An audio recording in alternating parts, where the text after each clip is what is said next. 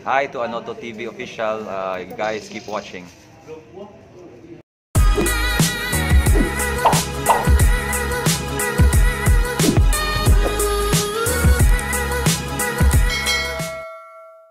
Paubaya ko muna sa kuya ko ang kamerang ito guys.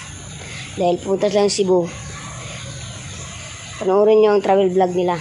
Kaya guys, kuya, sa'yo na to.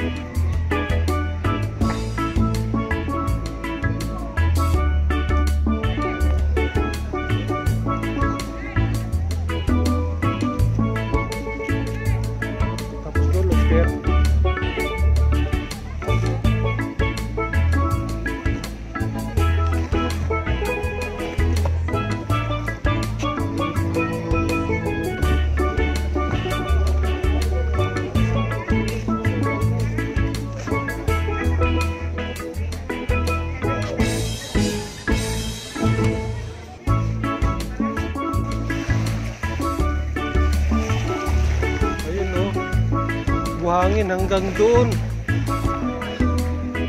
Ang ganda.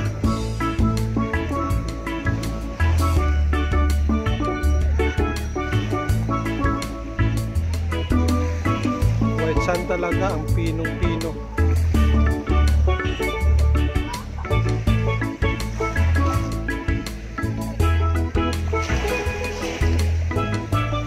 Maganda dito ano to sa ano? Bantayan Island.